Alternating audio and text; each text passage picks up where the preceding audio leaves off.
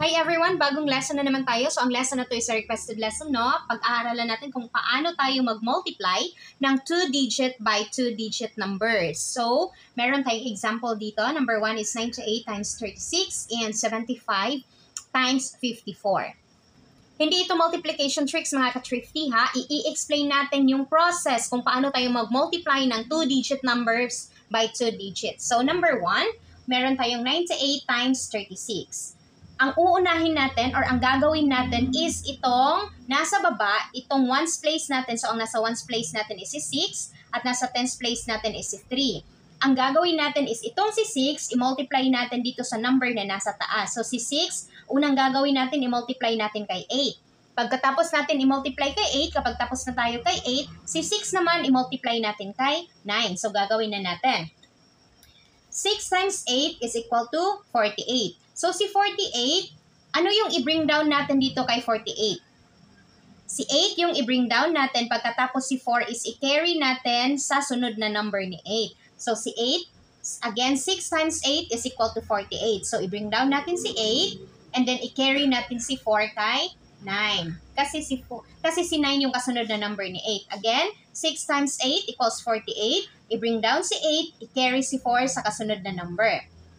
Next, 6 times 9 is equal to 54. Huwag nating kalilimutan na meron tayong 4 na naka-carry dito. So, idagdag natin siya sa 54. So, 54 plus 4 is equal to 58. So, isulat na natin si 58 kasi wala na tayong number na pwedeng pagkirihan kay 5. So, isulat na natin siya lahat kasi wala nang kasunod na number kay 9. Ngayon naman dahil tapos na tayo kay 6. So, ang susunod na i-multiply natin is si 3.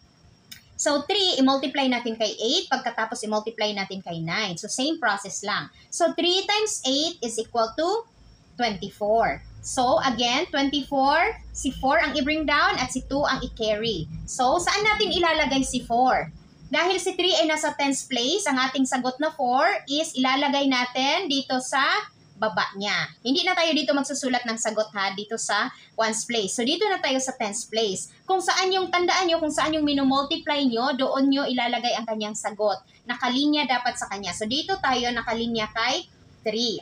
So, 24, carry 2. So, i-carry natin si 2. I-crush out natin si 4 para hindi natin siya masali kasi tapos na siya kanina. So, si 2 na yung carry natin kay 9.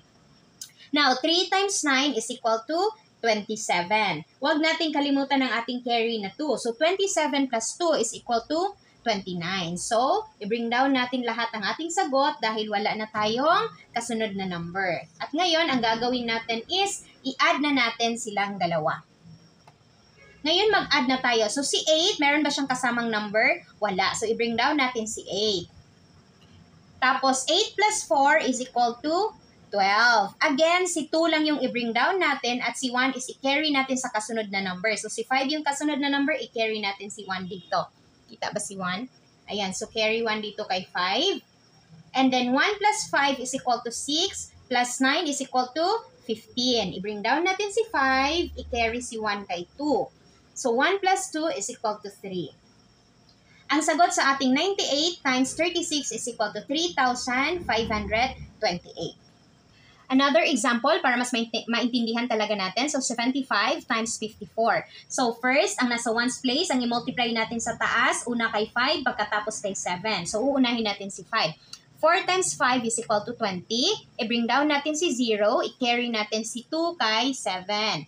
And then 4 times 7 is equal to 28. Huwag natin kalimutan ang ating carry na 2. So 28 plus 2 is equal to 30. At i-bring down na natin si 30 kasi wala na tayong kasunod na number.